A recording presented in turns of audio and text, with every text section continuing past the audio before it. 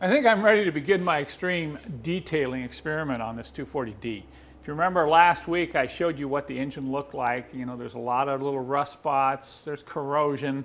It, it's clean. I mean, it's really clean. There's no oil, but it doesn't look that attractive because there's all these little flaws. And I found with any detailing, it's in the details. You get the pun? You go around and you clean up every single thing that your eye catches. And eventually, when you're done, you're going to go, wow, that looks like brand new, even though it's not brand new. It's really you're fooling your eye. And that's what I'm going to demonstrate in this series of videos on this 240D. I'm going to show you some good before pictures and then I'll take you through the process. We'll do some fast motion on the camera so you don't have to see every single thing I do, but you'll get a good feel for what I'm doing and why I'm doing it. And I want to take you back and show you those scenes that I shot last week to kind of give you an idea, once again, of what this engine looks like up close.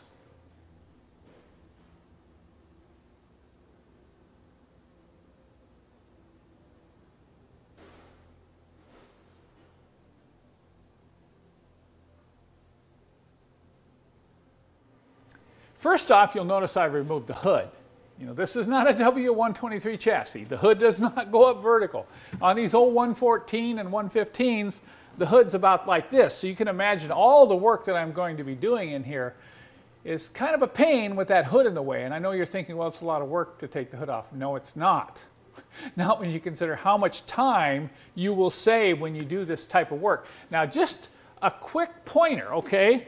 When you do take the hood off, always, and I repeat, always use a helper. Never try to remove one of these hoods yourself.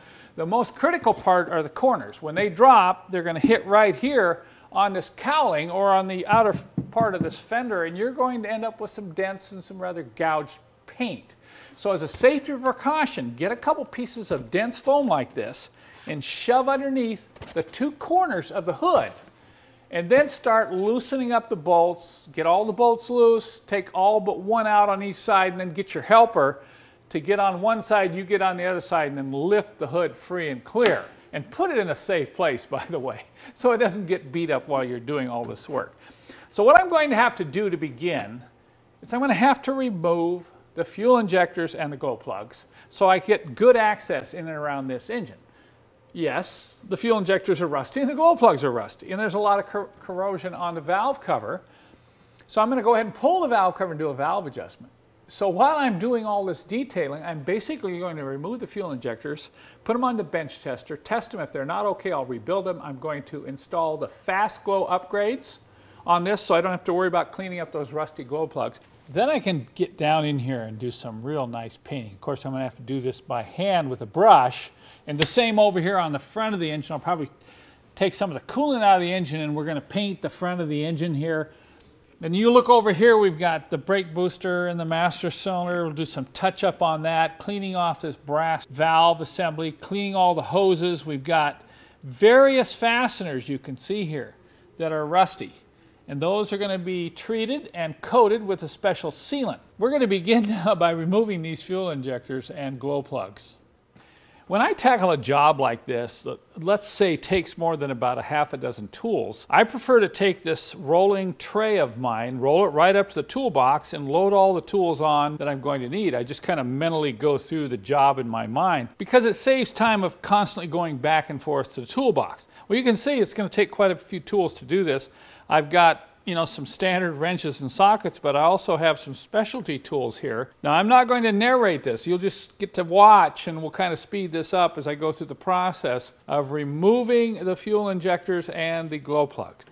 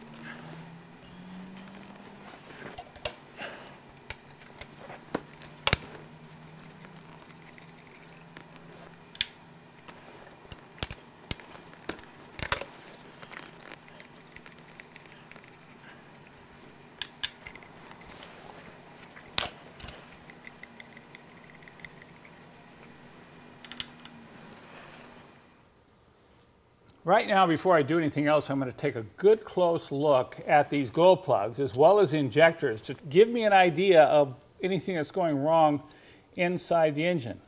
These glow plugs look pretty normal. There's no excessive oil. You don't have a lot of uh, deforming on these wires. So I'm just keeping them in order while I inspect them. I see nothing abnormal here. But while I'm at it, I think I'll go ahead and just ream out the carbon in the pre-chambers. We have a special reamer that we make right here in my shop. We're going to stick this reamer in and see if we get, look at, yeah, we're getting a little bit of carbon. I can feel it. Now, if it's real bad, what I'll do is I'll take and put a little grease on the flutes of this reamer. Okay, it's, it's binding up in there. I think we'll go ahead and back this back out. Okay, see, you can see the carbon I'm picking up. So I think what I'll do, I'll wipe this off and I'm going to put some grease on there. So any excessive carbon will be picked up by the grease. I'm just using a little synthetic grease here. Just wipe it into the flutes of the reamer. Okay, let's go back in here. All right, see it's binding up a little bit.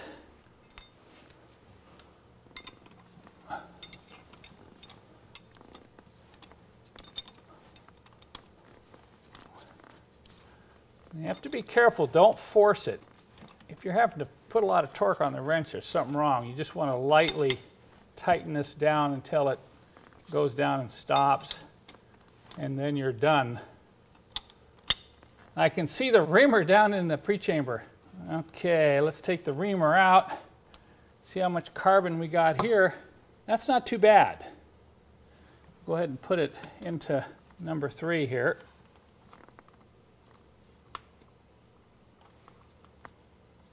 If you can turn it all the way in by hand, and then that's a good indication that your engine's not been burning a lot of oil because it's usually excess oil burning that causes the pre-chambers to coke up excessively. It can also happen with an extremely rich mixture, but I found the, the excess oil in the cylinders tends to cause the buildup more than anything else. Okay, number three looks okay. I'll go ahead and do number one and number two. Put a little more synthetic grease on there. We'll do these front two.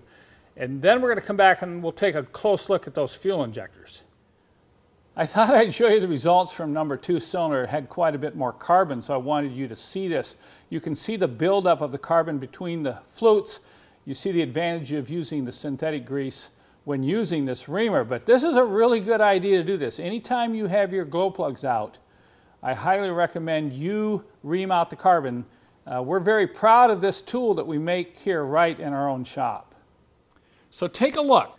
You know, they're a little rusty. They've been sitting in the car for a while. But a couple things that are very important to note. Number one is it took an extreme amount of torque to remove them. These injectors were over tightened. And I harp on this all the time. If you over tighten these injectors, you're going to put excessive pressure on the nozzle and it can actually hang up in there. That's one of the things that causes nailing or rattling. Now I've seen these tighten so much that the injector nozzles will actually overheat. So that's something you want to watch. They need to be torqued properly and you need to use a torque wrench. You can see there's a little bit of carbon coking around the tip and that's normal. But take a look at number two. And you're thinking, Kent, why is that all black and carboned up? and that's the first thing I thought. What's going on with number two? This is probably the original heat shield. You can see what happens when you try to install a fuel injector and reuse an old heat shield washer. You're not going to get a proper seal. You're going to get a poor burn and possible injection compression leak. So that's something you want to watch out for. Now, I'm going to take a quick look and determine whether or not I should even bother bench testing these. And the way you can do that is to clean the tip and see if there's any burn, uh, burning around the face. Now, the way to do that is to use a brass tool. We offer a brass injector cleaning kit. We call it our top brass kit. And when you're working with these diesel fuel injectors, you only want to clean the parts with brass, not steel. You don't want to use steel brushes on them because you'll score them. These are really critical. So what I'm going to do here is I'm going to scrape the carbon off the tip. I'm just being very careful. I can feel the end of the pintle that sticks through that nozzle housing. Right there, you can see how that's burned away and there's actually almost looks like scoring in a round circle real close to the tip there. That's probably the reason these look a little carboned up and coked like this, is because they probably have been dripping fuel. They haven't been seating properly. So what I'm going to do now, because of the condition of these tips, I'm not even going to bother bench testing them to see if they're okay. I'm going to go ahead, we're going to take these back in the shop, and we're going to rebuild them with new Monark nozzles. Right here, folks, these are my favorite tools this week. I just completed a rather tedious repair of a leaking breather cover in an M113 engine. And these plastic razor blades really came in handy. You know, they've made some great improvements in these. I remember about 15 years ago when I bought a plastic razor blade. It wasn't all that good, but some of these now have some really nice sharp edges and they can fit in a razor blade holder so you can actually use it as a scraper. Now, granted, these don't last very long, but they are really good in certain applications, particularly for like cleaning pitch and other contaminants off automotive glass. They also work, as you've already seen, for getting into the critical areas on sealing surfaces on magnesium and aluminum engine parts. Now, this style right here is not as sharp. It's got a blunt edge and it has rounded corners right here so that you can kind of work this into areas you really want to protect from any type of scratching at all. But I, I've become really fond of plastic razor blades and they should be in every toolbox. Let me show you a couple kits we're going to, to offer on my website in case you don't have these. We offer an inexpensive 10 pack of these plastic razor blades, seven of the sharp edge and three of these rounded corner blunt edge blades that you see here. Th these are very inexpensive and you, sh you should have them. You should have them right in your toolbox. And then along with that, I offer a complete you know, gasket prep kit, which includes these 10 blades, an assortment of 1200 to 2000 grit wet or dry sandpaper, a Scotch-Brite pad, and then I put in about half ounce or a little less of my favorite gasket sealant for paper gaskets. This is Aviation Permatex here. So if you need a kit to help you prep for sealing metal surfaces or preparing surfaces for gaskets and you want to protect them from scratching and you want to do the job right, this is what you're going to need right here. Newly acquired this week, let me introduce you to the newest member of my fleet, Ms. Mercedes. Now that's the name that the previous owner of 17 years gave this car, and I'm going to keep that name. I tend to name all my Mercedes-Benzes, but let me tell you, this is one sweetheart. It's a super Ms. Mercedes, okay? I don't think I've ever purchased a 20 year old Mercedes Benz in this nice a condition. Take a look at the interior. It's almost flawless. I mean, there's a, like a couple little cracks in the wood surround over the gear shift knob. There's no door dings in the car. The paint is immaculate. It has 115,000 miles on it. And the engine, well, it's going to need a little detailing. There's a few things, of course, that are going to need to be done to this car. It's kind of interesting. We're going to have to do a 2,000 hour inspection on this probably in the next couple of weeks. So we'll continue that series too. But I thought it would really be a good opportunity to do a new series. I'm going to title it Buying a 1986 to 1995 Mercedes-Benz. This is kind of a unique era. There's a lot of nice cars still out there as evidenced right here. You know, if you know how to look and you know what to look for, so over the next month, I'm going to be doing this long, long series on buying these cars. I particularly, you know, just love the W124. We have a 300 SE W126 and a W140 500 SEL and a 300 SDL. I've got a R129 300 SL. I currently don't have any more 190Es and I don't have a couple of the other chassis, but I'll be trying to acquire those or get my hands on them as I go through this series. Now, this series won't be part of the Kent's Garage episodes. It will be something that is separate from it. In this episode tonight, I just wanted to introduce you to my new baby. Now for the questions of the week, I'm going to start out by addressing a couple questions that came in related to the same subject, and that's these LED dash lights that I sell. They pretty much were asking, well, are they dimmable? Can you use the dimmer switch to brighten them and dim them down? The other question was, well, are these white or are they yellow? And we've all been around LED lights, you know, they're kind of taking over the world right now, but you know, I've recently found some really nice ones for my house because I do not like that bright blue, white cool color. And a lot of the LEDs are coming out with a lot more warmer, kind of a yellowish cast to them. So I think there's improvements on the horizon. Right now, I'm going to show you a comparison. I've hooked these up, both bulbs, to a 123 instrument cluster that I put on the bench. You can see right away when I power them up, the LED is five times brighter. You can see that little dim stock bulb there off to the left and yes, they are dimmable, but you got to remember that the LED is so bright that when you dim it, it's not really dimming way down like you would with a stock bulb. So we're going to keep researching and see if we can't come up with a cool white, kind of a warm white bulb that can be a replacement for these dash lights. And I think that'll probably happen down the road, but we'll keep you advised. Okay, next question. He, this uh, viewer says, I can't wait to see the video on the W115 chassis. He says, any chance you can touch on the problems specific to the older OM616 and OM617 engines on that chassis?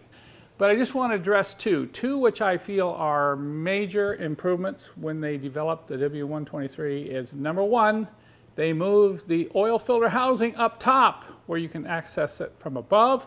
And they also took the power steering pump and moved it up top.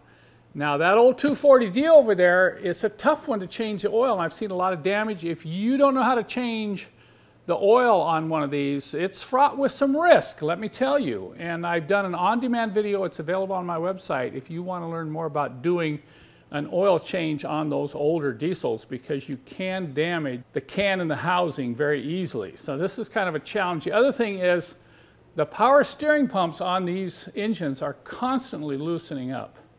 And that's one of the things I'm going to check on my 240D over there probably sometime down the road here in one of these episodes. We'll take a look at that and see if it has starting to loosen up. But I do not like the location of the power steering pump and I do not like the location of the oil filter on those older engines. So congratulations to the engineers of the W123. They took those two problems and made some big improvements. Okay, next question. He says, I have a W208 chassis with a 113 engine. It has over 223,000 miles on it. Can you please tell me what type of motor oil to use and what type of spark plugs to use?